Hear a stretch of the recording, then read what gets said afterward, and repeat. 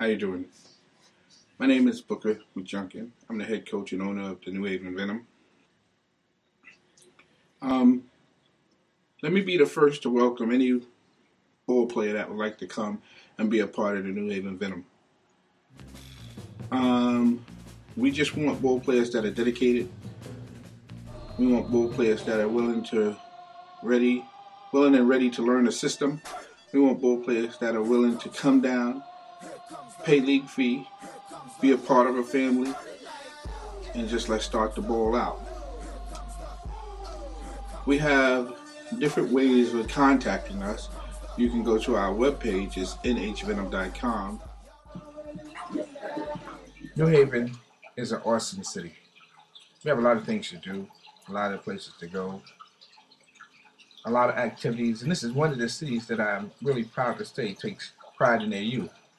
We have a new mayor, the Honorable Toni Harp, and we have the New Haven Venom, which is on the rise.